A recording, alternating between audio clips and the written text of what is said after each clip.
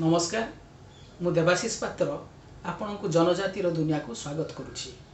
ଆଜି ଆମେ ଓଡ଼ିଶାର ଜନଜାତିଙ୍କର ଚିତ୍ରକଳା ସମ୍ପର୍କରେ ଚର୍ଚ୍ଚା କରିବା।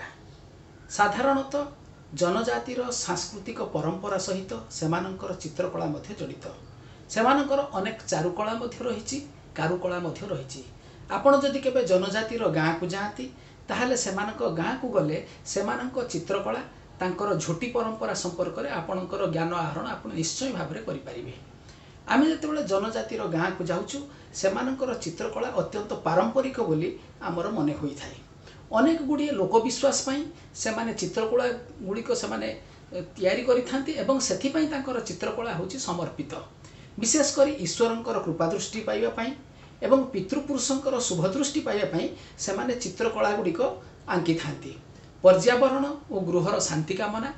ଅନେକ ସମୟରେ ସେମାନେ କୃଷି ଓ ତାଙ୍କର ପଶୁପକ୍ଷୀଙ୍କର ଯେଉଁ ଗୃହପାଳିତ ପଶୁପକ୍ଷୀ ଅଛନ୍ତି ତାଙ୍କର ଉନ୍ନତି ସାଧନ ପାଇଁ ମଧ୍ୟ ଚିତ୍ର ଆଙ୍କିଥାନ୍ତି। କେତେକ ସ୍ଥଳରେ ସେମାନେ ସାଂସ୍କୃତିକ ଆଉ ଧାର୍ମିକ ବିଶ୍ୱାସ କାରଣରୁ ମଧ୍ୟ ସେମାନେ ଚିତ୍ର ଆଙ୍କିଥାନ୍ତି। ଅନେକ ସମୟରେ ପର୍ଯ୍ୟାବରଣରେ ଏକ ଗୁଣାତ୍ମକ ଭାବସତ୍ତାକୁ ବିକାଶ କରିବା ପାଇଁ ଘରର ଶାନ୍ତି କାମନା କରିବା ପାଇଁ ସେମାନେ ଚିତ୍ରକଳା ଆଙ୍କିଥାନ୍ତି। ଅନେକ ସମୟରେ ସେମାନେ ଯେଉଁ ଚିତ୍ରକଳା ଗୁଡ଼ିକ ଆଙ୍କିଥାନ୍ତି ସେଥିରେ ପାରମ୍ପରିକ ରଙ୍ଗ ସେମାନେ ବ୍ୟବହାର କରିଥାନ୍ତି।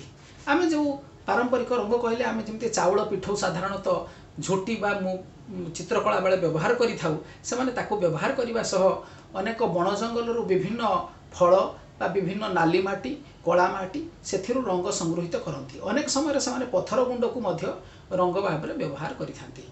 ସେମାନେ ଯେଉଁ ଚିତ୍ରକଳା ଗୁଡ଼ିକ ଆଙ୍କିଥାନ୍ତି ସେମାନଙ୍କର ସେମାନଙ୍କର ବା ଜନଜାତିମାନଙ୍କର ସ୍ୱାତନ୍ତ୍ରତା ଗୁଡ଼ିକ ବାରି ହୋଇ ପଡ଼େ। ଅନେକ ଜନଜାତିଙ୍କର ସେମାନଙ୍କର ସ୍ୱତନ୍ତ୍ର ଚିତ୍ରକଳା ମଧ୍ୟ ରହିଛି।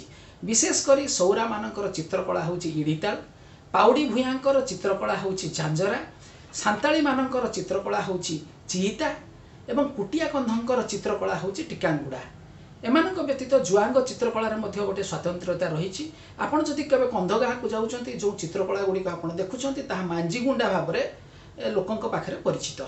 ତେଣୁ ଏହି ଚିତ୍ରକଳା ଗୁଡ଼ିକର ସ୍ୱତନ୍ତ୍ର ବିକାଶ ରହିଛି ଏବଂ ସେମାନଙ୍କର ସ୍ୱତନ୍ତ୍ର ପରିଚୟ ରହିଛି। ଆପଣ ସେମାନେ ଯେଉଁ ଚିତ୍ର ସବୁ ଆଙ୍କିଥାନ୍ତି ବିଶେଷ କରି ଘରର କାନ୍ଥରେ ଆଙ୍କିଥାନ୍ତି ନହେଲେ ଗାଁ ବାହାରେ ଥିବା ଯେଉଁ ବେରଣ ମୁଣ୍ଡା ବେରଣ ମୁଣ୍ଡା ପାଖରେ ଆଙ୍କିଥାନ୍ତି ଗ୍ରାମ ଦେବତୀଙ୍କ ପୀଠରେ ମଧ୍ୟ ଅଙ୍କା ହେଇଥାଏ। ସେମାନେ କାନ୍ଥଚିତ୍ର ଭାବରେ ପଶୁ ପକ୍ଷୀଙ୍କର ଚିତ୍ର ବା ଶିକାର ଦୃଶ୍ୟ ଗଛଲତା ଫୁଲ ମନୁଷ୍ୟ ତ୍ରିଭୁଜ ବର୍ଗକ୍ଷେତ୍ର ବୃତ୍ତ ଟୋପା ବିନ୍ଦୁ ଏଇଭଳି ସବୁ ଚିତ୍ର ସେମାନେ ଆଙ୍କିଥାନ୍ତି। ଅନେକ ସମୟରେ ସେମାନେ ଯେଉଁମାନଙ୍କୁ ଚିତ୍ର ଆସିନଥାଏ ବା ନୂଆ ନୂଆ ଚିତ୍ର ଆଙ୍କୁଥାନ୍ତି ସେମାନେ ଛକି ରେଖା ଏଗୁଡ଼ିକ କାନ୍ଥ ଦେହରେ ଅଙ୍କନ କରିଥାନ୍ତି। ଏବଂ ସେଇ ଯେଉଁ ରଙ୍ଗ ସେମାନେ ବ୍ୟବହାର କରନ୍ତି ଅତ୍ୟନ୍ତ ପାରମ୍ପରିକ ଭାବେ ସେମାନେ ଆଙ୍କିଥାନ୍ତି। ହିନ୍ଦୁ ପରମ୍ପରାର ଯେଉଁ କଳସ ପଦ୍ମଫୁଲ ଏବଂ ପୂର୍ଣ୍ଣକୁମ୍ଭର ଯେଉଁ ଚିତ୍ର ଗୁଡ଼ିକ ସେଗୁଡ଼ିକ ମଧ୍ୟ ଆଦିବାସୀ ଗାଁ ମାନଙ୍କରେ କେତେକ କ୍ଷେତ୍ରରେ ଦେଖିବାକୁ ମିଳୁଛି। ବିଭିନ୍ନ ଉଦ୍ଦେଶ୍ୟ ନେଇ ସେମାନେ ମଧ୍ୟ ଚିତ୍ର ଅଙ୍କନ କରିଥାନ୍ତି। ଆପଣ ଧରନ୍ତୁ କୌଣସି ବ୍ୟକ୍ତିର ଗୋଟେ ମୃତ୍ୟୁ ଘଟିଯାଇଛି ସେ ଘରର କାନ୍ଥରେ ଯେଉଁ ଚିତ୍ର ଅଙ୍କା ହେଇଛି ସେଥିରୁ ଆପଣ ଜାଣିପାରିବେ ଯେ ଏଇ ପରିବାରର ଜଣଙ୍କର ମୃତ୍ୟୁ ଘଟିଛି ବା ଜଣେ ବେଜୁଣି ବିଦ୍ୟା ଶିଖୁଛି ବା ଗୁଣି ବିଦ୍ୟା ଶିଖୁଛି ତାଙ୍କ ଘରର କାନ୍ଥରେ ଅଙ୍କା ହେଇଥିବା ଚିତ୍ରରୁ ଆପଣ ସେ ପରମ୍ପରା ବିଷୟରେ ମଧ୍ୟ ଜ୍ଞାନ ପାଇପାରିବେ। ଆପଣ କେବେ ଯଦି କୌଣସି ସୌରା ଗାଁକୁ ଯାଆନ୍ତି ବା ଆପଣ ଦେଖିବେ ସେ ଯେଉଁ ଚିତ୍ର ସେମାନେ ଆଙ୍କିଥାନ୍ତି ତାକୁ କୁହନ୍ତି କାର୍ଯ୍ୟା ଆନିତାଲ। କୌଣସି ବ୍ୟକ୍ତିର ମୃତ୍ୟୁ ହେଇଥିଲେ ଏଇଭଳିଆ ଚିତ୍ର ସେମାନେ କାନ୍ଥରେ ଆଙ୍କିଥାନ୍ତି। ସେମିତି ବେଜୁଣି ବିଦ୍ୟା ଶିଖୁଥିଲେ କୌଣସି ଝିଅ ସେ ଯେଉଁ ଚିତ୍ର ଅଙ୍କା ହେଇଥାଏ ତାକୁ ଆମେ କହୁଛୁ ଲବସୁମ୍ ଆନିତାଲ। ଏବଂ ସେ ଚିତ୍ର ମଧ୍ୟ ସେମାନେ ଆଙ୍କିଥାନ୍ତି।